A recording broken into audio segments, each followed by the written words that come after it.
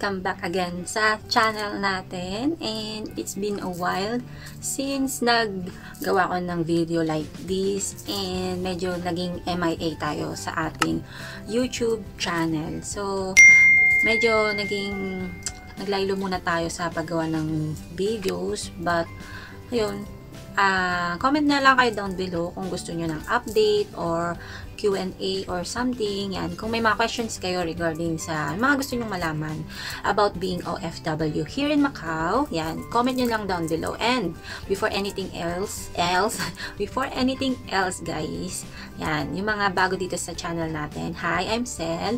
I'm an OFW here in Macau. I do vlogs, beauty videos, haul, and ano pa ba, food, uh, food vlogs, and kung ano-ano guys. Yun, mga challenges, yan.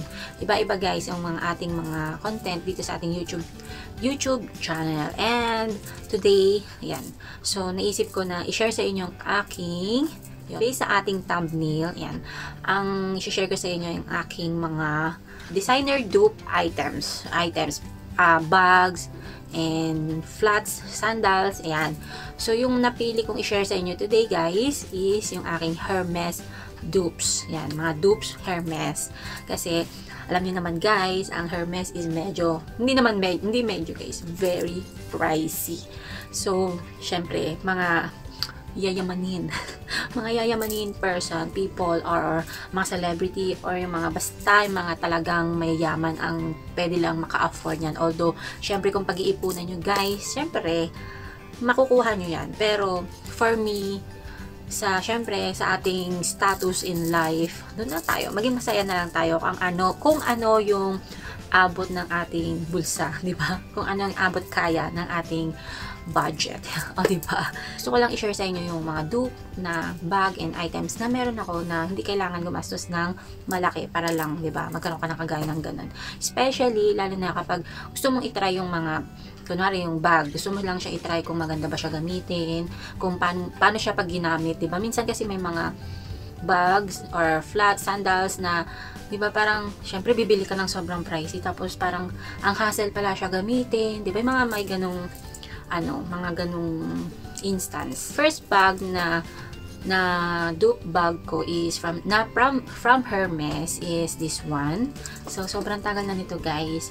Uh, siguro mga 5 years, more than 5 years na to sa akin. And sobrang, ano niya, uh, until now, sobrang okay pa rin siya. Ayan. Ito guys, ayan medyo nagre-reflect lang yung ilaw, kaya ganyan siya. Pero, ayan, sobrang ganda pa rin niya, guys. Ayan, it's a Birkin, Birkin jelly bag, and yung quality niya, nilagyan ko siya ng ganito, guys. So, yung quality ng hardware niya, ano, hindi siya kumukupas until now. Maganda pa rin yung klase. And, sobrang spacious sa loob. And, yan, gusto, gusto ko siya, mas preferred kong gamitin na nakaganyan, kaysa yung isasara mo pa siya na ganyan. Medyo hassle siya, di ba? Kagaya na yan. Parang medyo hassle siyang gamitin. So, kung mamahalin siya, siyempre parang, hmm, pero for me, okay yung ganito. Yan. So, pwede ito guys for summer, for rainy season, di ba? Kasi hindi, as in, jelly bag siya. So, hindi mababasa yung loob na gamit mo. And for summer, pwede rin siya. Kasi pwede mo siyang gamitin sa beach, di ba? Hindi rin mababasa yung mga gamit mo. And next na ipapakita ko sa inyo is this. Birkin din siya. And kailan ko lang din to na-purchase. Ito siya, Birkin. Meron siyang ganito, rodeo na chain. Tapos meron siyang para din siyang susi. Ito, may para din siyang susi sa loob. O, diba? May pasusi din siya. And yung color niya is color, ano to, milk tea, khaki. Parang ganun yung color niya. Yan. So, ito siya guys. So, mas preferred ko pa rin siya na nakaganyan gamitin. So, size nito is, ang size nito parang 32 or 25. Parang ganun, 32 yata. To 25. Sa ganun. So, I'm not familiar sa size niya. So, ito siya guys. Ayan. Diba guys, kahit dupe lang siya, ang ganda rin ng quality niya. Tapos yung button part niya is rose gold din siya yung hardware. Rose gold. And gold pala. Gold yung hardware. And so ito siya, yung inside. Meron pa rin siyang ganito, libre, pero smiley, kaya hindi ko siya, kasama to sa binili, kaya hindi ko siya nilagay, kasi smiley, yung, parang ano, hindi siya bagay dito, di ba guys? Saka sa color nitong chain. Pendant na rodeo. Tapos meron din siyang, ano, strap. Parang ganyan. Kung gusto mo siyang i-shoulder strap na gano'n. Pero, minsan ko lang siya nagigamit yung strap. Tapos, ayan, mas preferred ko na hawak ko siyang ganyan. Tapos, pag ganun. Ayan. Diba? Ang ganda niya, guys. Diba? And next is this one. It's like a bucket ba to? Bucket. Hermes.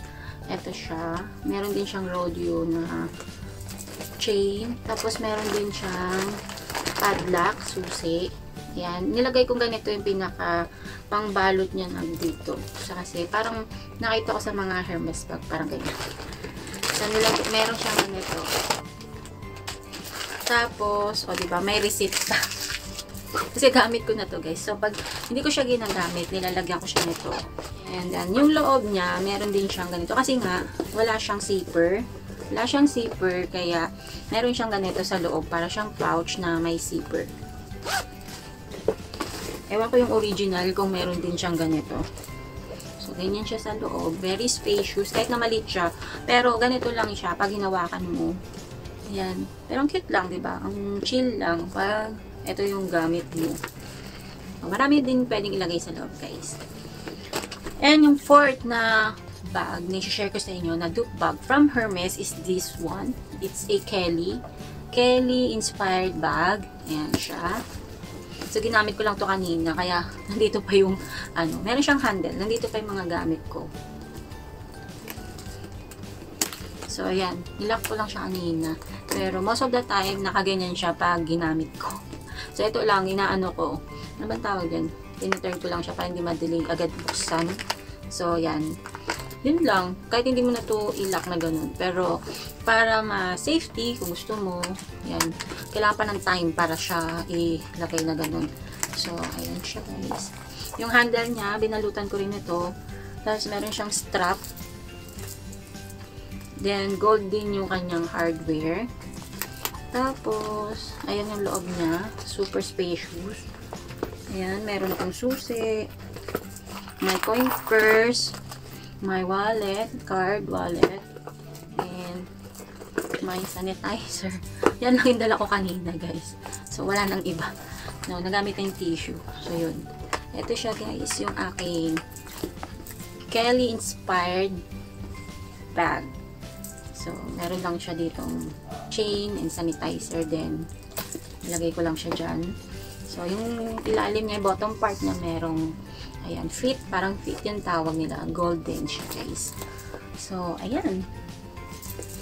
So, yun lang guys, yung aking 4 dupe bags from, ano, brand Hermes. And, punta tayo sa aking flats. Guys, yan, punta na tayo sa aking dupe, dupe, dupe na designer flats items. Ah, flats. Yan, shoes, flats.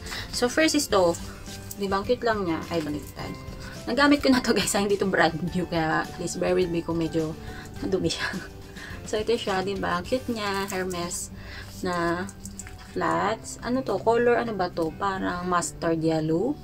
And, what else? This, ito, ang cute-cute din niya. So, nagamit ko na rin siya, kaya madumi na yung likod. So, ayan, white siya. And, meron din tong color, black. Ito. So, yan. Mura lang to guys, ha. Yung kung iyaano yung price. So, hindi, sobrang layo ng price niya para sa real, sa authentic Hermes. So, dupe lang to guys. Walang brand ng Hermes na nakalagay. Wala. So, ito yung isang klase. Jelly din to. Jelly, parang jelly type ng flats. So, ito siya. Yung parang circle na ano ngayon. So, yung color niya is parang, ano bang color to? Green, dark green, blue-green. So, ito siya guys. Diba? Ang cute. Diba? Parang, hmm, diba? Parang ang chill lang pag suot mo siya guys. In fairness guys, hindi ito nakapagpaltos or itong lahat ng to, hindi ako napaltos na ano yung pa ako. So, ang ganda ng quality. Kahit na murang-mura lang siya. So, this one also is a Hermes inspired flats. So, nagamit ko na rin to. Sobrang ganda ng quality nito, guys. Walang tatak na Hermes. Iba yung tatak niya eh. Pag ano, Yin Kylie. Parang ganun. So, ito siya guys. O, diba? Brown. Nude brown. Yung color niya. At ang ganda ng quality guys. So, hindi rin siya napupudpud hanggang ngayon. So, ang daming beses ko na itong nagamit. And makikita sa likod. Yan. Pero binabalik ko siya dito kapag hindi ko siya ginagamit. So, ang ganda rin ng quality ng kanyang pagka, hindi naman siya as in real leather, fake leather or something. Iwan ko basta, maganda yung quality niya guys. So, ayan lang guys. That's all for my video for today. Yan, shinare ko lang yung mga dupe, uh, items from Hermes na meron ako guys. Sana nagustuhan yung mga pinakita ko na hindi kailangan ng mamamahaling gamit para lang magkaroon ka. You can check na yung mga items, mga dupe or kahawig niya para yun, magkaroon ka ng ganun. So, if may budget, why not? Pero kung wala, wag ipilit guys. So, yun lang. So, kung bago kayo sa channel natin guys, I hope na mag-subscribe kayo sa channel natin. Pakiclick na rin ang bell button para ma-notify kayo every time meron tayong bagong videos. Ayan. And it's been a while since naggawa tayo ng video na ganito. So, I hope na nagustuhan yung mga shinare ko. Kung may question kayo, mag-comment lang kayo down below. Yan, sagutin natin yan sa mga susunod na video. So, thank you guys for watching. Till my next video. Have a bubbly life, everyone. Bye!